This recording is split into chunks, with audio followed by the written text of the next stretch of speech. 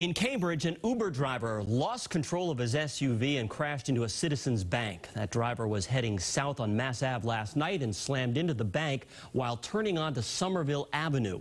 The Uber driver stayed on the scene and cooperated with police.